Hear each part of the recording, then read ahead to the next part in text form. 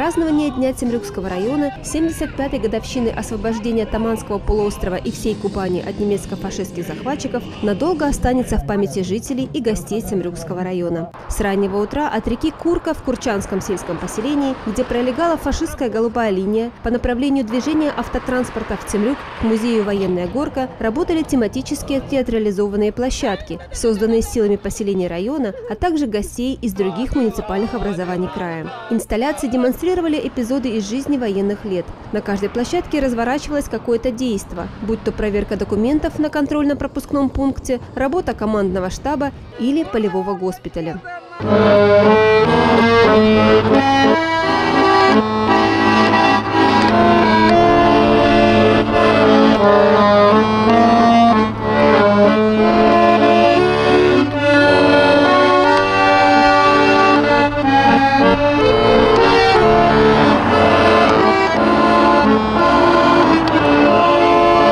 Невозможно было проехать мимо, не посигналив, не сделав фото на память. Удивительные, реалистичные, красочные инсталляции не оставили никого равнодушным. Целый город из тематических театрализованных площадок раскинулся на склоне горы Миска. Здесь свои экспозиции представили все муниципалитеты Краснодарского края.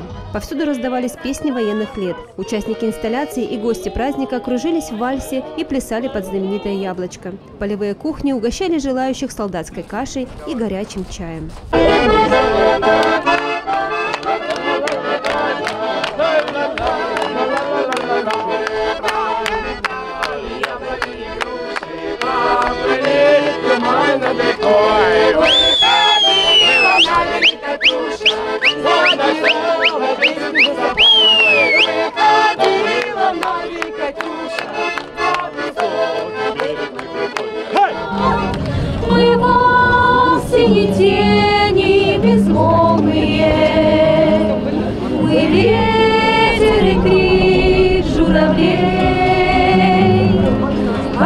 Погибшие в небе за родину Становятся небом на дне.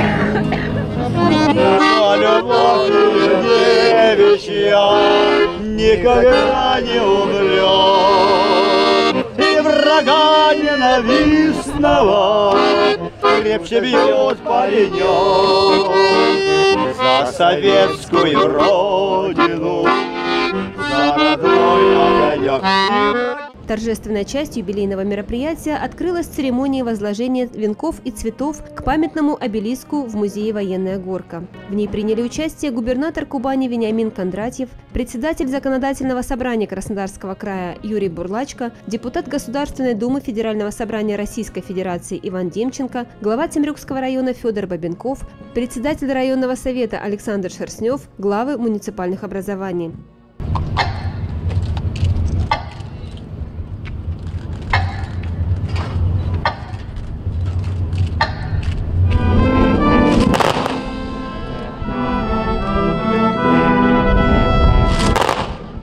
Торжественным маршем по улице Роза Люксембург прошли представители воинских подразделений, сегодняшние защитники Отечества.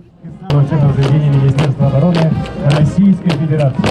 Краснодарского высшего военного авиационного училища летчиков имени Героя Советского Союза Серова.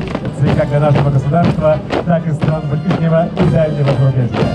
Военные марши исполняет сводный военный оркестр Краснодарского гарнизона.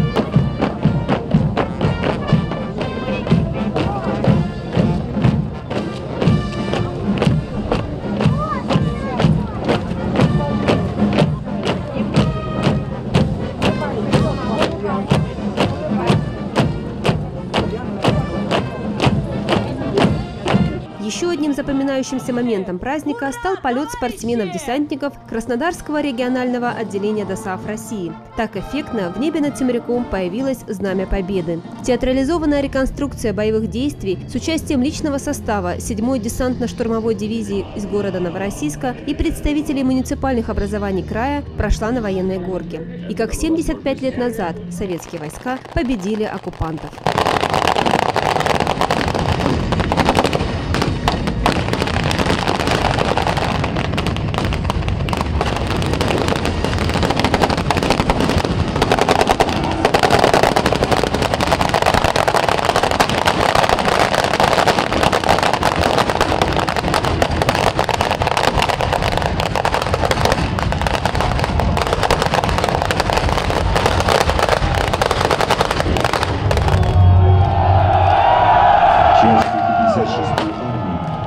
Красные флаги взвились над экспонатами музея. Огромный красный стяг раскинулся рядом со сценой. 400 крупных маков, красных, как пролитая кровь освободителей, пронесли в своих руках дети, участники театрализованного концерта. В нем приняли участие артисты Государственного академического кубанского казачьего хора, Кубанского духового оркестра, детского хора Кубани, хора Краснодарской филармонии имени Григория Пономаренко, солисты Кубанского казачьего квартета «Кумовья», народного мужского ансамбля «Самородок», ансамбля казачьей песни «Креница» и другие известные краевые коллективы.